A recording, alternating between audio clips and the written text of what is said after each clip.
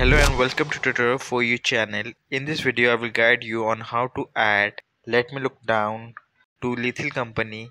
So let's get started. To do this you need to download some programs. I have provided the link in the description.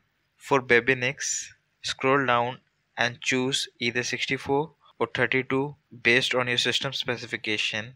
For this program, scroll down and click on manage downloads. After downloading, you will find them in your downloads. Create a temporary folder and extract all of them there.